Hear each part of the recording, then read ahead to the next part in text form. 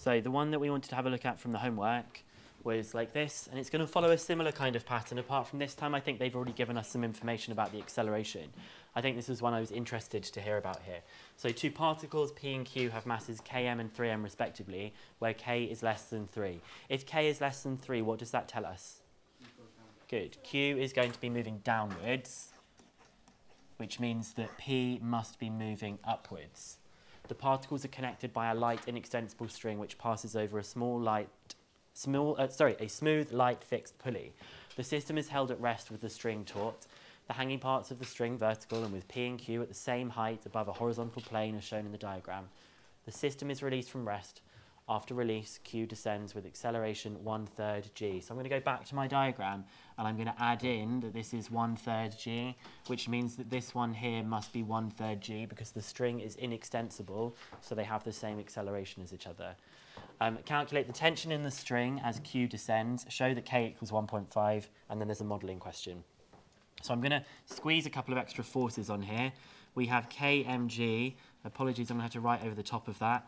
That one is 3 mg. For this particle P, what should you tell me about the direction of the tension? Up or down? Up, yeah, we know tension goes up because that's what it feels like it's pulling it up. Same for this particle, it feels like the tension is pulling it up. Now, when you look at these two things that we've got, I've got this scenario for P, where I don't know what the tension is, I don't know what K is. I've got two things I don't know. When I look at the Q particle, I do know what the weight is, I do know what the acceleration is. I don't know what the tension is. I've only got one thing I don't know. So that tells me that it's much better to begin by looking at particle Q than it is to begin by looking at particle P. So I'm going to resolve in which direction, up or down? Down. down. It's the direction it's moving in. I'm going to do F equals ma, and I'm going to be looking at particle Q. What is the resultant force? 3 mg minus t equals What's the mass? 3m and the acceleration? One third g. So I'm going to multiply that by a third g. So I get 3mg minus t equals 3m times a third is just mg. So rearranging this, you get that t is equal to 2mg. Because you, I always just think about that as the t and the mg are kind of just swapping places, really, aren't they? Um, hang on, though. My answer's in terms of m. Is that okay? Yeah, yeah. That's okay, isn't it? Remember we said that last lesson. We would expect it to be in terms of m. Part B of the question, well, I've already done the, what was this thing called, F equals ma? What was the posh phrase we called for that that you might see in an exam question? An equation of motion, good. So I'm now going to do an equation of motion for particle P. Which direction will I resolve? Yep, I'm going to resolve upwards because that's the way it's moving and I'm going to do F equals ma, and I'm going to do that for particle P. So what should the resultant, uh, what's the resultant motion for this one? Muhin, what's the resultant motion for this one I've got here? The resultant force, sorry. The resultant. Yeah, the resultant force. Um. Yeah, it's T minus kmg because we're looking in the different direction. We're now going upwards. And that's equal to the mass, which is km, not kmg, but km, and the acceleration, which is a third g. Now, I don't know what the tension is. I also don't know what K is. Oh, hang on, I do know what the tension is, don't I? Yeah. The tension I've just worked out is 2 mg. So I get 2 mg minus kmg equals a third, and I'm going to just write it in the same order, kmg. What can I do everywhere here? I can cancel out the mg everywhere, which is why I don't often use g as 9.8 during a calculation. I tend to do it at the end in case anything cancels. So I get 2 minus k equals a third k.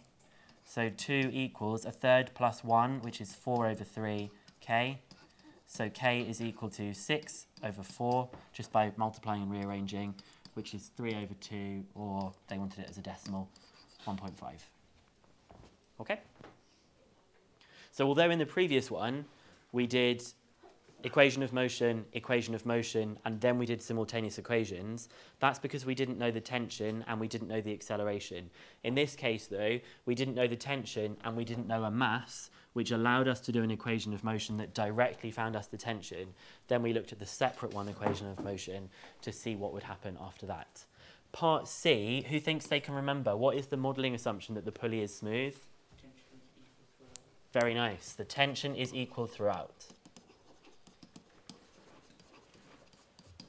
And we actually did use that, didn't we? We used that by replacing t with 2mg over here. The reason it is equal throughout, I said this before, is if it wasn't smooth, it might be like rusty or it might have friction, which means one side might be tugging down really hard and the other side might be quite loose. So that's why the tension is equal on both sides there. Okay? What was the bit that was trickier about this one? Because it definitely was a bit different. What do you think made it trickier, Arisa?